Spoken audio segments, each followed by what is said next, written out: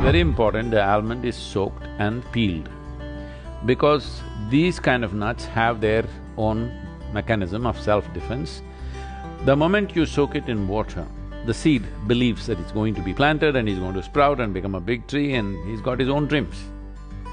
So when you sprout, what he does is, there is a certain carcinogenic chemical within the nut which comes to the surface just beneath the skin so that insects will not eat him up.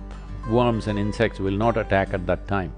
So you soak it to give him a feeling that he's going to grow and then peel it off, then you will see that carcinogenic is gone. Otherwise, when you eat uh, an almond, you are eating that carcinogenic part without knowing that you're consuming it.